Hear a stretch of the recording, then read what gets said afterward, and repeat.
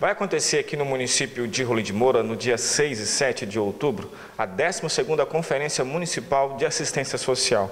É uma conferência de suma importância a gente vai conversar hoje com Giovanni Martins, que é um dos palestrantes, que vai explicar um pouco mais da importância né, dessa conferência para o município de Rolim de Moura. Nós estamos já na 12ª Conferência Municipal, né? isso também se dá no âmbito estadual e federal. Né? Nós trabalhamos com os três entes federados.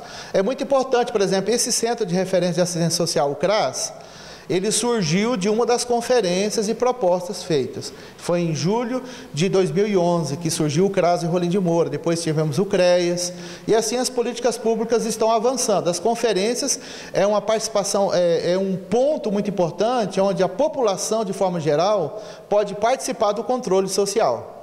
Qual será o tema que vai ser discutido, debatido nessa conferência? É, o tema geral é que é um direito né, do cidadão, é um dever do Estado. Isso é constitucional. Nós vamos trabalhar, por exemplo, eu vou estar palestrando no eixo 1 sobre a, as políticas públicas não contributiva, ou seja, aquela que o cidadão ele, ele tem direito, mas ele não contribuiu diretamente para o INSS. É também um espaço ímpar de controle social. Por exemplo, como que está a política de assistência social no município? Está andando bem? Está atendendo a demanda? Não está? Aí nós temos diversos grupos dentro da sociedade, idosos, crianças, adolescentes, gestantes, né? Nós temos várias, eh, os benefícios, por exemplo, eventual, que faz parte da política não contributiva. Por exemplo, as gestantes, nós temos kit para gestante, né? benefício para neonato.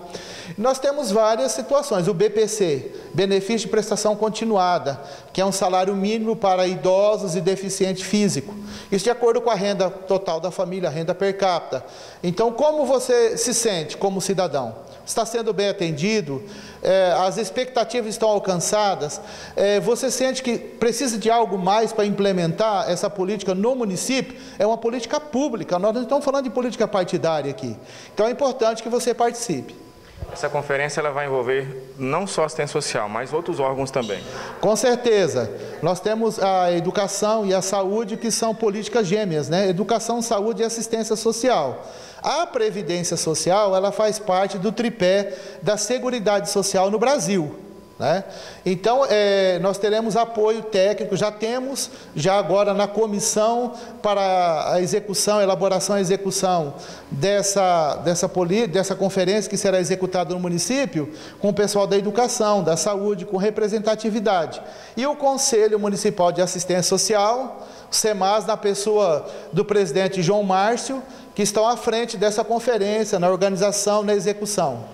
Que dia, é, aonde, o local, na verdade, que vai acontecer? É, até então, é no dia 6 e 7 de outubro, no dia 6, às 19 horas e 30 minutos, ali no auditório da Faculdade de São Paulo, né? E no dia 7, pela manhã, nós continuaremos, pela manhã e à tarde, Tá? Teremos ali os momentos de coffee break, de apresentação cultural, teremos ali pessoas muito importantes, né?